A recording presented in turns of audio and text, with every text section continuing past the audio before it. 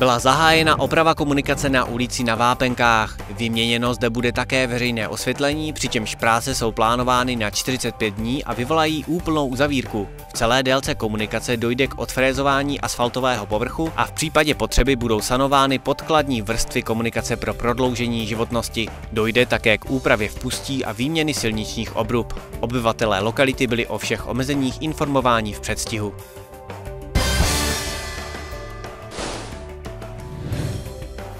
Slovenská strela letos 3.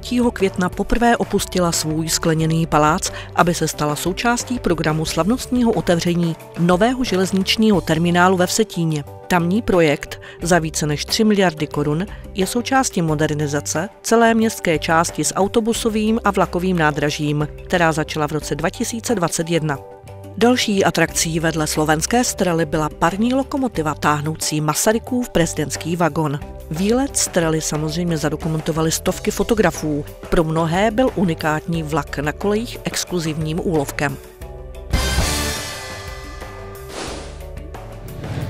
Muzeum nákladních automobilů bude od pondělí 3. června do pátku 7. června veřejnosti uzavřeno. Během této doby dojde k úpravě expozice a výměně některých exponátů v muzeu. Poté bude opět otevřeno od soboty 8. června od 9 hodin.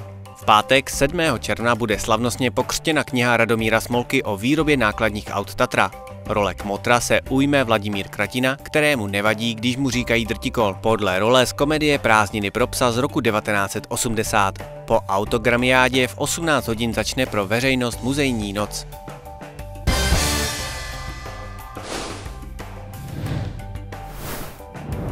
Do konce měsíce lze posílat písemnou žádost o vydání voličského průkazu pro volby do Evropského parlamentu, které se uskuteční 7. a 8. června. Lidé, kteří vědí, že nebudou v tomto termínu doma, ale chtějí volit, už nyní mohou požádat o vydání voličského průkazu, aby mohli využít svého práva a hlasovat v kterémkoliv volebním okrsku na území České republiky.